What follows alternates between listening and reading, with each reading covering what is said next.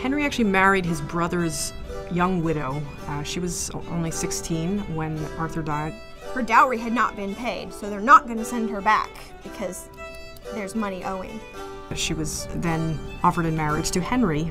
There was a problem in church canon law about this arrangement, however, because technically, in the eyes of the church, it was more or less like he'd be marrying his own sister.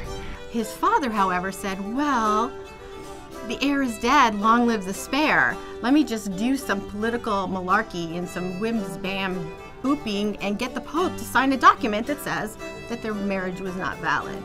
That happened. Henry was betrothed to Catherine.